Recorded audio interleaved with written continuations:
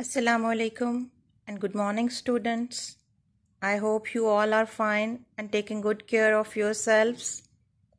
You all are welcome in your today's Islamiyat lesson. And as you can see that today we are going to do our guided assessment of Surah Al-Fatiha from textbook page number 7. I hope you all are ready for today's lesson. So now let's start our lesson together. So please all of you Open your Islamiyat textbook, page number 7 and hold pencils in your hands. Students, your today's learning objective is this, that to revise the topic with guided assessment. That first of all, we will revise your topic and then you will be ready for your assessment.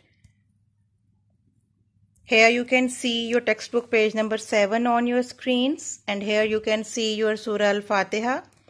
First of all, we will revise this surah together. So now please let's start with me.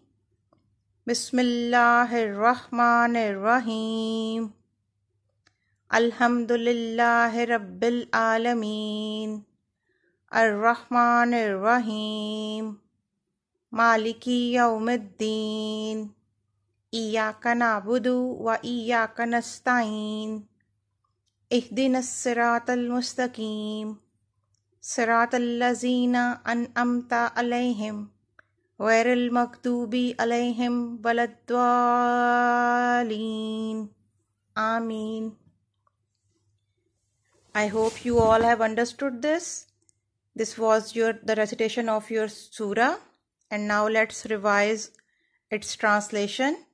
Here you can see on your screens from your textbook page number 7 your translation of Surah Al-Fatiha. Let's start reading it. In the name of Allah, most beneficent, most merciful. Praise be to Allah, the Lord of the worlds, the most beneficent, the most merciful, Master of the day of judgment you alone we worship, and you alone we ask for help.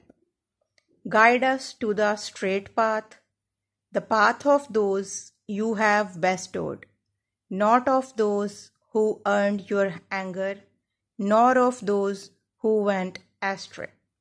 This was the translation of your Surah Al Fatiha, and I hope you all have remembered this as we have discussed it in our previous lessons also and you have also done this in your class. So i hope you all have remembered it properly. And your today's written task is this that first of all you will revise this surah and the translation properly. And then you will write down the translation of surah al-fatiha in your notebook. Please do your work properly and keep your handwriting neat. I hope you all can do it very easily because we have revised this surah in our previous lessons also and I hope you all are very well ready for your today's assessment. Try to complete your task today and I hope that you all will be ready for this one. Now Best of luck for your today's work. Take care of yourselves. Have a nice time. Allah Hafiz.